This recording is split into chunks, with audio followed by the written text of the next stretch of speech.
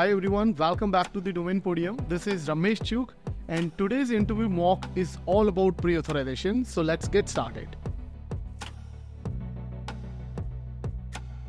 Hi Vivek, how are you doing? Thanks, Ramesh. I'm doing good. And how about you? Yeah, all good. Thanks. Thanks for asking. So Vivek, today we will talk about pre authorization. First of all, if you can help me understand what is pre authorization. Sure. Pre authorization, also called as authorization hold, is a show of commitment by the card holder that the funds are good. It is used by merchants also to lower their risk. Uh, there is no actual charge or movement of cash money. It is just an assurance to the merchant that the cardholder has sufficient funds in their account and other card details like expiry date, CVV, card number, etc. are valid. It is just a temporary hold on the account. Okay. Vivek, uh, can you give me some examples where pre authorization can be used? Yep. Pre authorization is used in use cases where the exact amount of sale is not known at the time of transaction. Typical examples are uh, the hotel and resort industry. When a user uh, checks in, uh, the hotel would like to just take a pre authorization hold because exact amount of the customer's duration of stay in the hotel may not be final. There could also be some incidental expenses. Mm-hmm. And hence, whenever a authorization amount, the actual purchase amount is not fully known, merchants prefer to take a pre authorization. Other examples are also taxi rides, where uh, a user could extend their journey. Uh, another good example is a bar tab, where a person hands over the card to a bar counter, but they are not sure how many drinks they will consume. Okay, but what is the benefit uh, of using pre-authorization for a merchant? Why does a merchant, you know, uh, want to use a pre-authorization in these kind of scenarios? Whatever examples you took. Sure. Uh, a very good example would be taxi rides, where often people make taxi bookings and then they cancel. Another example are e-commerce, where the the merchant may not have the goods to send for an online order, or could have partial order fulfillment. So cases where whether it is a hotel, a taxi ride, or an e commerce uh, merchant, and orders are frequently changing, cancelled, and so on. Merchants would like to avoid the process of refunds because funds incur interchange fee as well as transaction charges. Yes. In cases where a person cancels a, an, an order and uh, or it is partially cancelled, issuing a refund is expensive for the merchant. It's an operational cost. They would like to avoid uh, such charges. The other good advantage is that uh, interchange fees paid by merchants on a transaction only happens at the time of completion. So if a hotel is booked, say, a month in advance, the merchant did not uh, uh, pay the interchange fees. It will be only paid at the time of completion.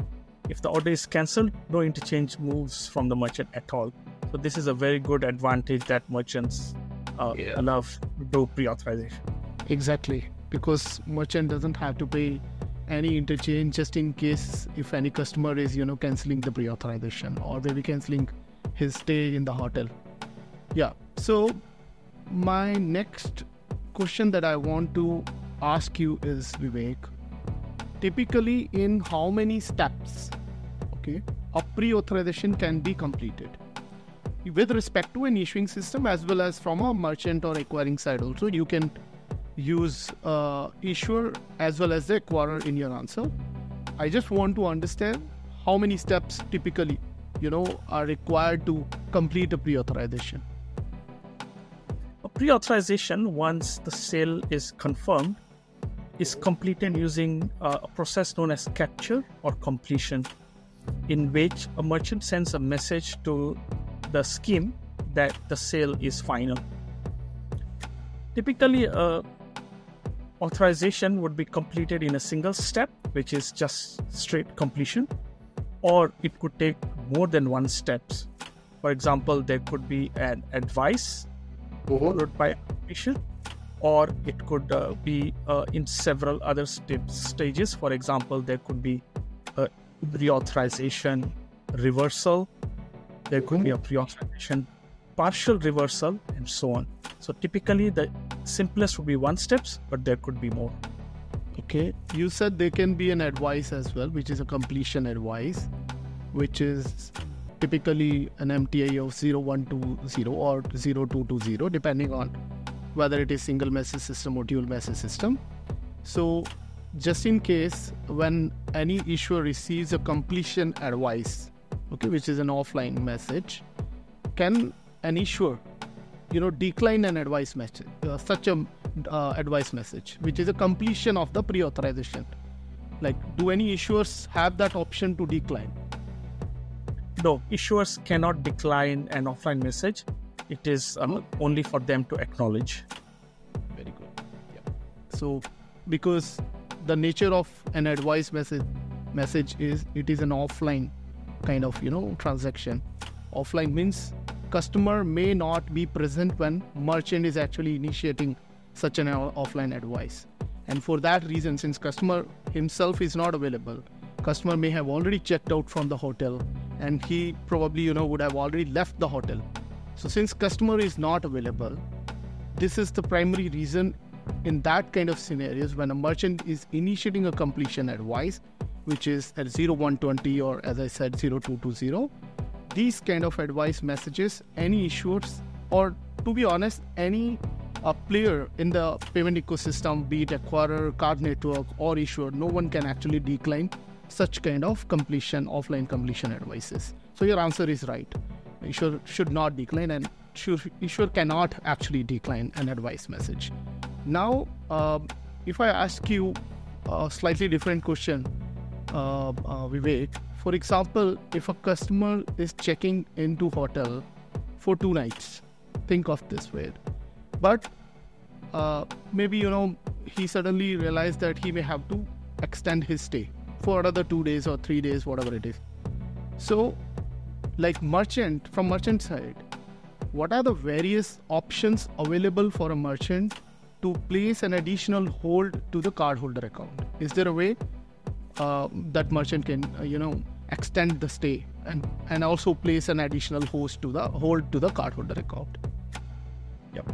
Uh, typically a hotel uh, in a scenario where the customer presented the card at the time of checking in or the booking was made prior through an online system or through online travel agents, but the card details are available with uh, the hotel, the merchant. They can issue what is called an incremental pre authorization. So they could uh, extend the amount of authorization, which again gives them a validity of up to 30 days to do a completion or capture. So incremental auth is one such way uh, I, to be honest, merchant can also complete the previous authorization. It's up to the merchant, right? They can complete the previous pre-authorization and then they can initiate a new one also. But your answer is correct. Uh, typically, merchant what what they do is like they just increment the previous authorization, which can place in any issuing system another hold on the cardholder account. You just now mentioned about the completion and the clearing of the pre-authorization, right? what is the difference in these two type of messages completion advice and a clearing message a completion advice is a 0120 message which is uh, like information to the issuers of the completion of the sales whereas the actual capture or clearing is sent to schemes as a 1240 or a presentment message which yeah. is uh, for the issuer to perform the settlement exactly and what about ISO data elements, uh, uh, Vivek? How an issuer can actually identify whether it is a pre authorization or a normal retail transaction? Sure. A pre authorization request is identified in the ISO message when the value of uh, data element 61, which is point of service data, uh, the subfield 7, which is the post transaction status, uh, contains a value of 4. That's how a pre auth is uh, determined. Is, uh, and this is applicable to Visa or MasterCard? I think MasterCard. Or MasterCard. Yes, right, right. And what about any other data element? Do you know the possible value in data element 25? Um, no, D25, I'm not so sure, Ramesh. Some of the merchants, uh, sometimes they also includes data element 25 value as 06 against either pre-authorization or pre-auth completion. So this is another data element an issuer can actually rely on it and can sometimes use. But Otherwise, you are right. Data element 61 typically, uh, uh, you know, any issuer can use to identify a pre-authorization. Now let's talk about AFD transactions, Vivek So first of all, can you help me understand what is AFD? Sure. Uh, AFD uh, transaction, uh, Ramesh, is typically also an authorization or 0100 message, except that uh, the merchant are typically the automated fuel dispenser which is what AFD stands for. And uh, these are recognized by the merchant category code of 5542. So, an authorization message coming from a merchant category code of 5542, typically of the amount of $1, is how you recognize an AFD transaction.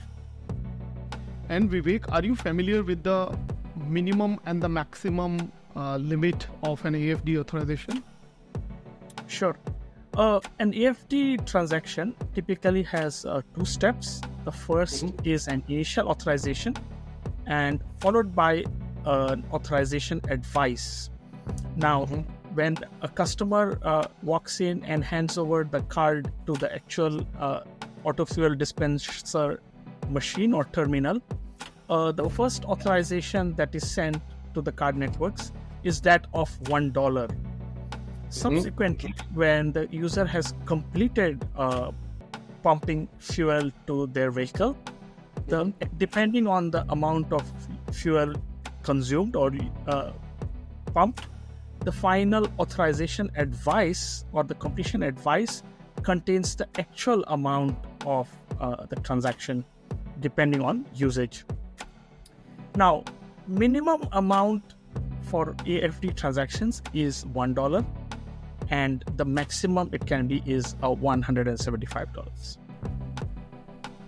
okay um, i'll give you one scenario and then help me understand how an issuer can configure their uh, any transaction switch to take a decision on that kind of scenario so let's assume that a customer is performing an AFD transaction of $1 and as you mentioned, the maximum limit to complete an AFD is $175 for a consumer. Okay. So, what if a customer does not have $175 as a balance in his account, but the AFD is being received for $1? So, how issuer is going to respond to these kind of AFD transactions? Sure. Uh, Ramesh, AFD transactions have in the past been subjected to a lot of uh, fraudulent uh, cases, because of which issuers take a mm-hmm. conservative approach of inflating the initial $1 authorization to a bigger value. Now, depending on countries and uh, different merchants, uh, these values are configurable. For example, an issuer might set to decline if transactions if the cardholder does not have at least 100 or 120 in their bank account. Uh, the best case scenario is 175, but some issuers also configure yeah. it at 100 or 120 Yeah, exactly. So this is configurable, and most issuers, depending on the region, could be different for US or Australia. So they are, you know, configuring their system to accordingly decline the transaction if customer does not have that limit available in his account. So my last question um, about the ISO data elements. So what is uh, the difference between a pre-authorization and AFD? what are the additional ISO data elements that I think you did mention about one of the MCC code, right? To identify the AFD transaction. But is there any other difference between a pre-authorization or AFD in terms of ISO 8583? Uh, uh, MCC code of 5542, which is for uh, mm-hmm. to fuel dispensers, the best criterion to uh, identify a AFD transaction and the value is typically uh, dollar one. Yeah, and rest of the data elements are same as pre-authorization, Vivek. Yes, that's right. The B61 post data uh, sub element five values are the same. Okay, thank you so much, Vivek. Thanks for your time. See you in the next session. Thanks so much, Ramesh. Thanks for inviting me. Thank you. Bye bye.